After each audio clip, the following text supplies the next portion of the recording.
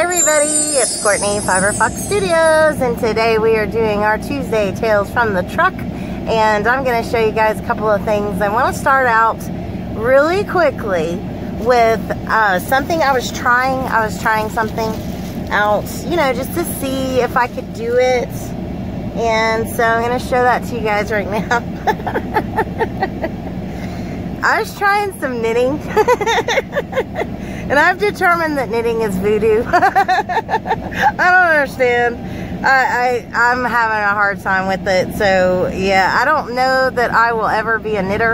Um, I just, just trying the cast on and stuff. Like it doesn't look right to me. Like I don't know if it's going to focus.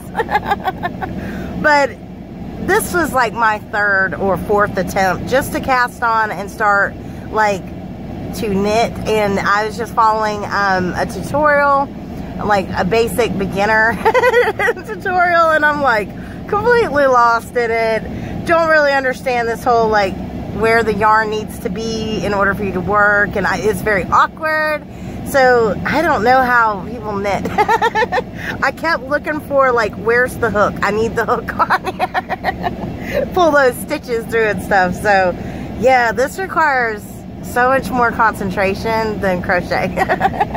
so um, yeah, that was my experiment. I just got, you know, and is this right? Is this supposed to be like this? Like this?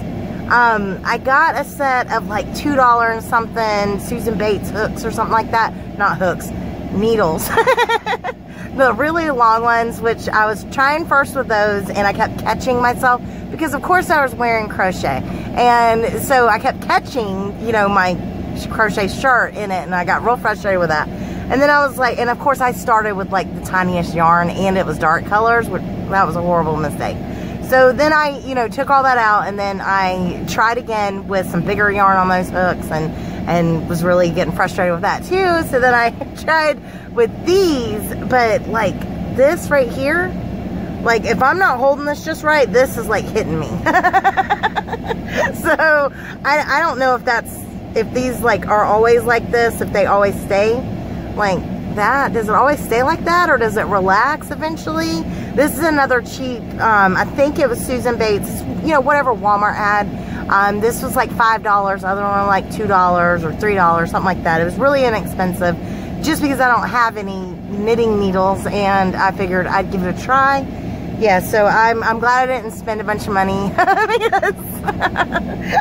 I don't know that I'm going to keep this like going. I don't know that I'll keep trying, at least not right now. So that was my experiment that I tried and determined that knitting requires voodoo. So, next thing I want to show is, for those of you who have not already seen Mosaic Monday, um, that was released yesterday, because yesterday was Monday. and this is the pattern that we're doing. I think this would make a really great, like, blanket border, personally, you know, but um, I just teach you the swatch, and I think it's pretty. Hopefully you guys like it. If you haven't seen it, you can check it out.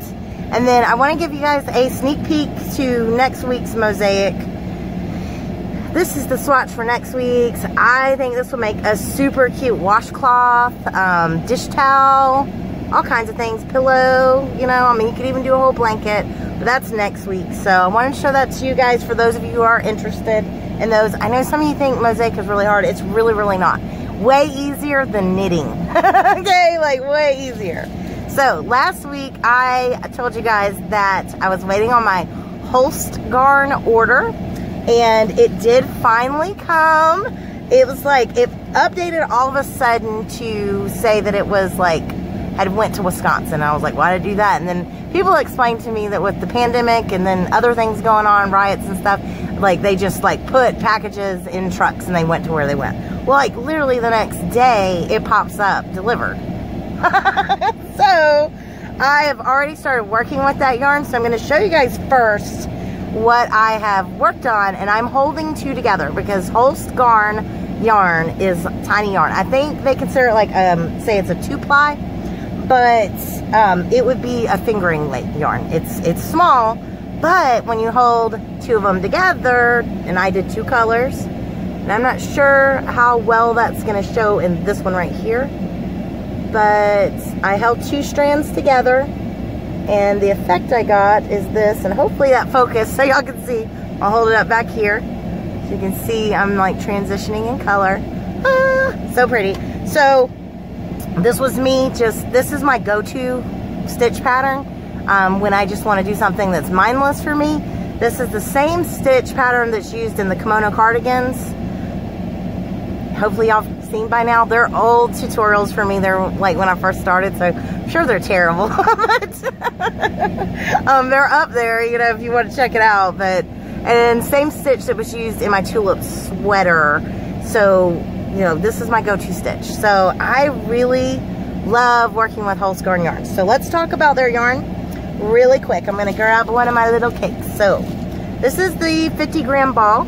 So they come like this. They're 50 gram balls. Let me roll up this window. Maybe that'll help with our lighting. so the 50 gram ball, this color right here is called Petal, I believe. Yep. This one's Petal. That's what the label looks like. 50 gram ball has um, a little over three, no, it's 350 meters, 383 yards in this 50 gram ball. And as you can see right there, super tiny stuff. It is tiny, but I love it.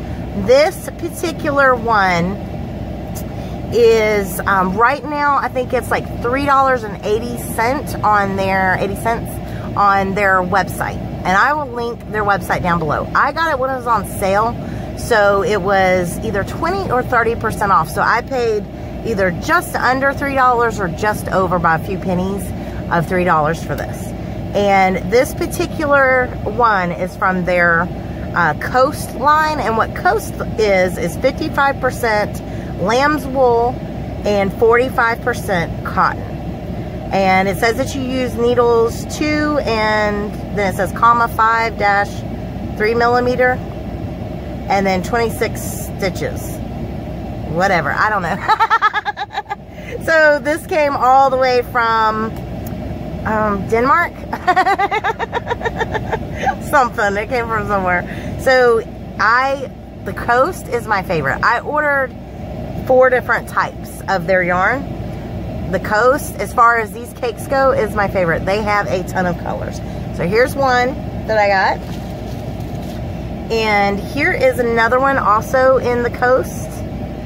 And this one, same specs and everything. This one, the color is called Lime. I think it's showing up kind of true to color. Hopefully. Love it. It's not super soft when you feel it, but this is softer than the super soft wool. this is also supposed to be machine washable. And let's talk about why it's so cheap. Because to me, that's cheap. Because like, for the yardage and everything, it seems pretty cheap since it's got wool in it and cotton. The deal is with Holst Garn is they do not, um, another one. they do not do the final washing process. So there is allegedly a little bit of spinning oil left on here and a little bit of dye could come out. So working with it, I could not tell that. I, my hands did not feel oily or anything. You can see, like I did work quite extensively you know, this isn't like a little tiny swatch. So I worked for hours and hours and hours with it. And my hands didn't feel weird. I didn't notice anything weird. No reaction or anything like that. A lot of people work their project and then they wash it. Now, Holst Garn on their website says that their yarn is machine washable. of course, it's on wool program is what they say on there. You know, it's going to be the most gentle cycle, maybe even a soaking cycle, but you allegedly can put it in the washing machine. We will find out because I'm going to try that. and I'll let y'all know what happened. So this is the other one I got. This is also in the coast. This is red currant is the color. It's super pretty. All of these, I got 16 total um, balls and everything. A few I got of the same color because I wanted, you know, it was on sale really good. Um, and so I wanted a few of a certain few colors. But there's the other one. This is also Coast in silver gray. I paid with shipping. Shipping was like $7.50. It was so inexpensive. I paid with the $8 and some change. Um, it was so under $60 for 16 of these balls. This is another color I got in Coast. It's called Saffron. That's one the orange color that I've been working here and here. So you can kind of see how it looks they're probably a little bit better. And red currant, that's the other color that I have mixed in here.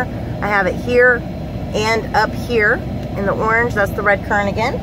And then I got, so that was all the coast that I got. Then I got two balls of the super soft wool in the color Purple Haze.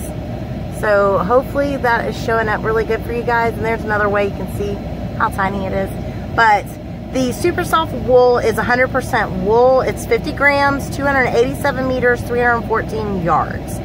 So I think it's, you know, this is not soft though. This is wool, so it's not soft. Now, I understand from watching other reviews and all that it does, they say bloom. I don't know what that means, but they say it blooms when you wash it, soak it, wash it, and also I'm guessing that means it fluffs up a little bit and softens, but we'll see when I do something and wash it in that. So I got two in the super soft wool that isn't that soft. And then I got also in Coast the robin's egg. This is gorgeous. Love that. And I got Noble. So Noble is a different one. This color is called Atlantic. It's 95%, and I'm probably going to pronounce this wrong. Geelong wool. Is it Geelong or is it Geelong? 5% cashmere wool. Okay, so I'm going to hold that. Hopefully it'll focus. You guys can see. I don't know how to pronounce that. Come on, focus. Focus. Focus. it's not going to focus. I don't know how to say it, but it's gorgeous. There, that's true to color. So pretty. So this is wool and cashmere. And again, it does say that you can wash all that.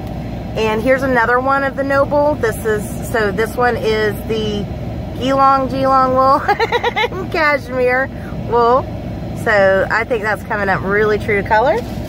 And again, that is 364 yards for those if I didn't say that before. And here is the last color I got in the Noble, so the Cashmere Wool Blend. This one right here. So pretty. And let's see what else I got down in here. Here's another color of Coast that I got. And here's another color. So this color right here is Old Gold. Let me hold that back. And this color is in Noble also. It's called Lock. And I want to bring this closer because hopefully you guys can see there's like, it's multi-tones to this. It is so pretty. It's almost a heathered look. Love this. It's so pretty. Now they have a lot of these colors in all the different lines. So kind of keep that in mind. Um, if you do want to check them out, like if you don't want the super soft wool or you don't want the Noble, those are a little tiny bit more pricey, but nothing bad. Um, they have them in the lines where you can get that similar color in like Coast. And Coast is the one that I like the most, you know, because it's the wool and cotton. So this is the last color I got in Coast. This is peach. And that is mixed in here and here. So, now let's do the very last one and then we're done. One more. Save the best for last. So this is the way, I'm going to say it the way um, Antoinette over at 2OG's Hooking and Stitching says it, because that's how I found out about this yarn is through her channel. She showed some that she has. So she pronounces this name of this line as Titicaca. I don't know if that's, I mean, I'm to go with she knows what she's talking about. it's a funny name. This is 100% alpaca. And it is so soft. Let me hold it back here because I think that's the best true to color is right back here for some of these. So this is 400 meters. It's 50 grams in this little thing. So 400 meters would be, you know, 400 something yards. I love it. This is so soft. It's got like little halo-y. But the thing I like about this versus some of the other 100% alpaca yarns that I have, you know, purchased like at Hobby Lobby or I don't I think I've ever gotten a 100% alpaca, but it's been alpaca mixed in. So this this is the first time I've gotten 100% alpaca. It's very tiny, as you can see. When I go like this, I don't have fibers flying around everywhere. What I've noticed with the yarn that I've got that's like acrylic and alpaca mixed is it's really bad about losing fiber and it seems to be the little alpaca hairs that fly out everywhere get all over everything. Like if you wear a black tank top underneath something you know a shawl or something like that like you have white little alpaca hairs all over you. So with this this does not seem to do that. It doesn't seem to be losing those fibers. So hopefully you guys can tell it's just it's got the haloiness to it so you know but I don't I just it just looks different than what I've seen here in the US so I will definitely get more of this. Now this is the most expensive one. When I got it, it was just under $5. But I looked it up yesterday and it's like $7.05 US for one of these little 50 grams. Now in the other yarns, like these yarns, all of those you can get 500 gram cones and those range from like 22 to I think I saw some that were close to 30 or right over 30 depending on which line you're in obviously so I, I mean, to try it out, do the 50 gram ball, make sure you're to like it. I'm super happy with my purchase. Like, I already want to get more, but I was looking and they only have certain colors on sale right now, so I'm to wait for more colors to go on sale. But I have like at least another 15 or so already in my cart waiting. So that's it for today. Hope you guys enjoyed it. Down below, link. I'll also link the tutorial for this poncho that I'm wearing. It is a poncho turn. Maybe y'all can see if anybody's interested. That will be linked down below. It is also one of my earlier tutorials. So I don't know, quality wise it may not be that good, but it is super fun to wear and it's not hot. So until next time, have a great week. Let me know what you're working on. Let me know if you're interested at all in these types of yarns, if you have any interest. Um, that way if I buy more, if nobody's interested, I won't show it. so until next time, bye.